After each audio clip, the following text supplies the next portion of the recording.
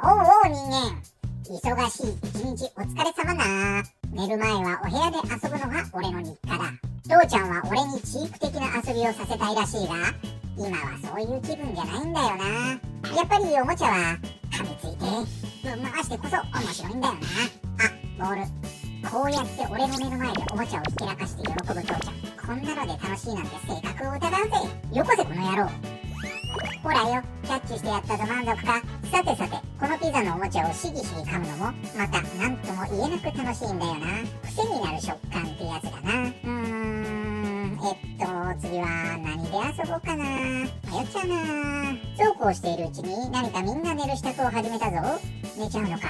まだ遊びたかったな。でもよく考えたら俺も疲れちゃったしなんか眠くなってきちゃった。ということでお前らおやすみな。